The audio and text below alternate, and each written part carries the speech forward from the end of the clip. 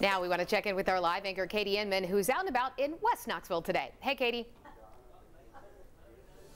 Hey, Robin and Brittany. I'm here at Fisher Tire in Bearden, right off of Kingston Pike in West Knoxville. And the reason that we're here, no, I'm not here getting an oil change during work hours. Come on. I'm here to talk about Mission of Hope's Blue Barrel Drive. We're at the halfway point right now. And uh, I, Fisher Tire is just one of the locations where you can find these blue barrels. There are a ton of other locations that are listed on this paper here that you can find on every blue barrel. But hey, maybe you're like, like, I don't ever frequent those places or I don't see the blue barrels as much or I, I want to do things online, good news. You can do that because there is a cyber blue barrel drive this year where you can go online, go to their website, you can click the banner that pops up uh, by scanning a QR code too on, on the blue barrel as well. It takes you to uh, the place where you can donate, whether that's monetarily or donating toys online as well.